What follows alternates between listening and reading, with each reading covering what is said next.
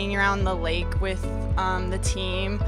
Our coach got us together to do team bonding around the water, and being from Arizona, I'd never really experienced that with a team of girls that I like to call my sisters, so it was really cool to experience that off the field and kind of enhance our relationship with each other.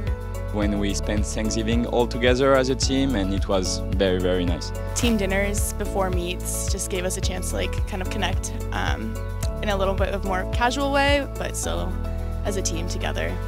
Our team retreats in the beginning of the school year. So this is before we have any tournaments, before we really get to know the new people on the team.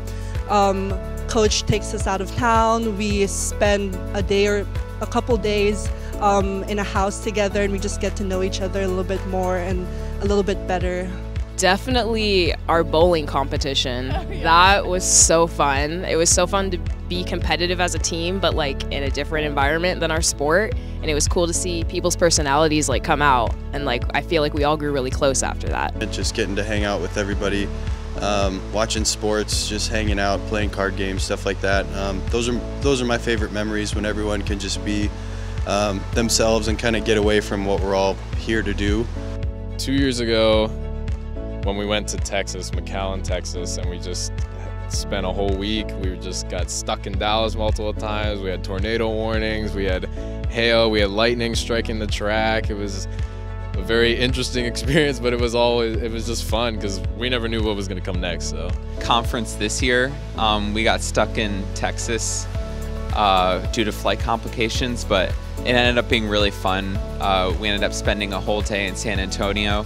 Um, and just exploring the city and just being with all the uh, my teammates and everything.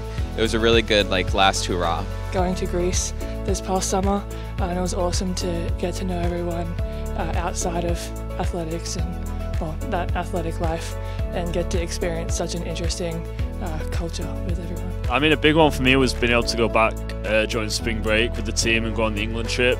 It was great, like off the field, like sightseeing with all the team, like seeing them experience it for the first time. And it was also great for the teammates to like see my whole family and uh, hang out with them. So that was great for me.